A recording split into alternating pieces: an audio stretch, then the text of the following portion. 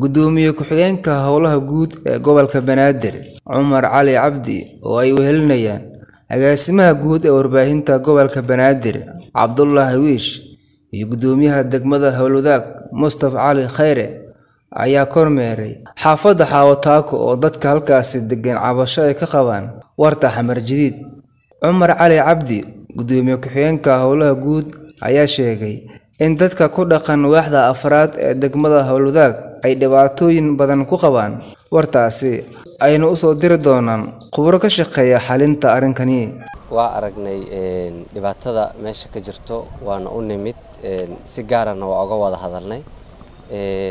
Meeshaan waxay ahayd iskuulka xamar jadiid meel war loogu talagalayna maahayn qaab ahaan iyo muuqaal ahaan sida ay tahay ficil ahaanna waa u aragnay.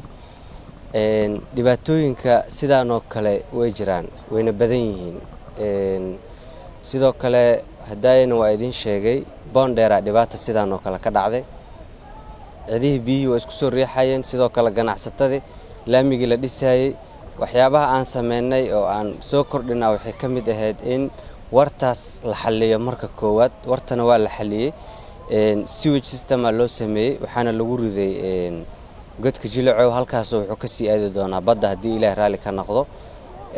Halkan maanta waxaan u nimid waxaa waaye dhibaatada ay isku haayaan ganacsatada iyo dadka deegaanka. In maaragtay aan soo aragno annaga marka prioritiga koowaad waxaa waaye dadka deegaanka waay. Waa inaan aragnaa dadka docafada ah maskiinta ah ee aan hadli karin ee aan doodi karin ee t v inta soo istaagay dhibaatadaanaan haysta aan dhihi karin aan inta u nimaano dhibaatada heesata aragno. Maamul ahaan sida aan uga gargaari karin inaan uga gargaarna insha allah awooddeenna maamul iyo middeena dowlad maaha mid leedinku dulminaya insha allah waa mid leedinku garabsiinayo waxaa la rabaa marka midda aan idinku garabsiinayna sidoo kale cidaha masaakiinta oo idinku dhegan wax badan aan ka hadalnay oo aan maaragtay ka jeedinay cidaha dariskaah oo kale. In qof weliba waxaa laga yaabaa karikadan aa heli kartid adiga maanta inta kuu taalo cidda kugu dhegan ma heli karto.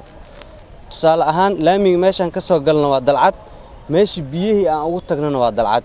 Roobka hadda da'o gurigan wuxuu ka hoori doonaa biyo. Biyaha gurigan oo ka hor intoo geynaa marka. Halkaanaa ujeediinay taallaa marka. Macnaha waxaa ah xaggan waa nadiif wartan agteeda waa nadiif meeshaan dhaxana waa dhibaato.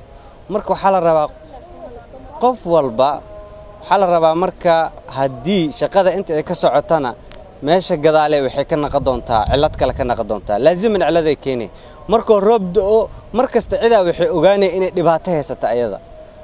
Marka waxaa la rabaa inay isku gargaartaan annagana insha allah awooddeenna iyo karaankeenna waa idinkugu dadaali doonnaa hadduu ilaah yidhaahdo ganacsatadana xal waa ka keeni doonnaa hadduu ilaah yidhaahdo in ganacsatadu ay ku qanacsanaadaan biyaha inay inta soo maraan hooyo masaakiinana ee dhex fadhiso annaga uma dul qaadanayn hadduu ilaah yidhaahdo ganacsatadana in hantidooda iyo ganacsigooda baaba'ana uma dul qaadanayn insha allah labadaasba xal u dhexeeya insha allah keeni doonnaa waxaana soo diri doonaa tiim iga socda hadduu ilaah yidhaahdo agaasimaha guud ee howlaha guud injineero jomitiro go'aan ka qaato caqabadda meeshaan ka jirto xalkeedana keena insha allah si ay u kala badbaadaan dadka deegaanka iyo ganacsatada hadduu ilaahay raalli ka noqdo marka booqashadeenna iyo imaatankeena iyo ukuurgalkeena shaqo midaasuu ahaa waxnaxayna ahayd cabasho adinka idinka timid oo aan annagana aan soo xaqiijinaynay maanta waxaan taagannahay suuqa bakaaraha.